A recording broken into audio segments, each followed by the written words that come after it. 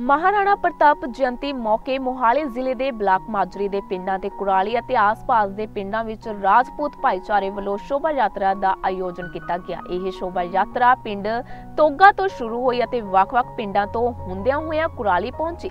ਸ਼ੋਭਾ ਯਾਤਰਾ ਵਿੱਚ ਸੈਂਕੜੇ ਟਰੈਕਟਰ, ਕਾਰਾਂ, ਜੀਪਾਂ, ਮੋਟਰਸਾਈਕਲ ਦਾ ਲੰਬਾ ਕਾਫਲਾ ਸੀ, ਜੋ ਤਸਵੀਰਾਂ ਖੁਦ ਬਿਆਨ ਕਰ ਰਹੀਆਂ ਨੇ। ਇਸ ਸ਼ੋਭਾ ਯਾਤਰਾ ਵਿੱਚ ਖਾਸ ਗੱਲ ਇਹ ਵੇਖਣ ਵਾਲੀ ਸੀ ਕਿ ਰਾਜਪੂਤ ਭਾਈਚਾਰੇ ਦੇ ਨੌਜਵਾਨ, ਬਜ਼ੁਰਗ ਸਾਰੇ ਹੀ ਆਪਣੇ ਪੁਸਤੈਨੀ ਪਹਿਰਾਵੇ ਦੇ ਵਿੱਚ ਨਜ਼ਰ ਆਏ।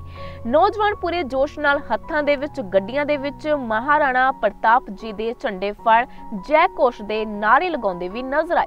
ਸ਼ੋਭਾ ਯਾਤਰਾ ਦਾ ਵੱਖ-ਵੱਖ ਪਿੰਡਾਂ ਦੇ ਵਿੱਚ ਹਰ ਧਰਮ ਦੇ ਲੋਕਾਂ ਨੇ ਭਰਵਾਂ ਸਵਾਗਤ ਕੀਤਾ।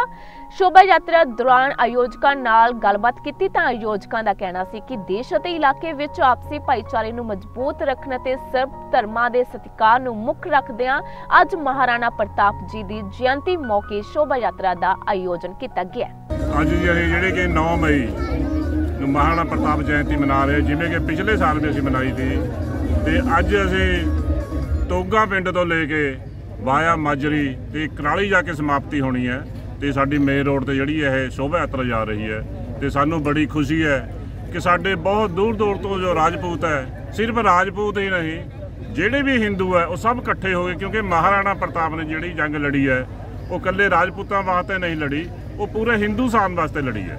ਤਾਂ ਸਾਰੇ ਅੱਜ ਹਿੰਦੂ ਜੋ ਇਕੱਠੇ ਹੋ ਕੇ ਅਸੀਂ ਰਾਜਪੂਤ ਜਯੰਤੀ ਮਨਾ ਰਹੇ ਹੈ ਤੇ ਬਹੁਤ ਹੀ ਭਾਗਾਂ ਵਾਲਾ ਦਿਨ ਆ ਤੁਸੀਂ ਦੇਖੋਗੇ ਵੀ ਕਿੰਨਾ ਉਤਸ਼ਾਹ ਅੱਜ ਸਾਰਿਆਂ ਵਿੱਚ ਹੈ ਮਹਾਰਾਣਾ ਪ੍ਰਤਾਪ ਦੀ 884ਵੀਂ ਜਨਮ ਹੋਇਆ ਜਿਹੜਾ ਮਨਾਇਆ ਜਾ ਰਿਹਾ ਜੀ। ਇਹ ਤੋਗਾ ਤੋਂ ਸ਼ੁਰੂ ਹੋ ਕੇ ਕਰਾਲੀ ਜਾਣੀ ਹੈ ਤੇ ਵੱਖ-ਵੱਖ ਪਿੰਡਾਂ ਦੇ ਵਿੱਚ ਜੋ ਜੋ ਮੇਨ ਰੋਡ ਦੇ ਉੱਪਰ ਹੈਗੇ ਪਿੰਡਾਂ ਨੇ ਉਸ ਦਾ ਹਰ ਇੱਕ ਪਿੰਡ ਸਵਾਗਤ ਵੀ ਕਰ ਰਿਹਾ ਮਹਾਰਾਣਾ ਪ੍ਰਤਾਪ।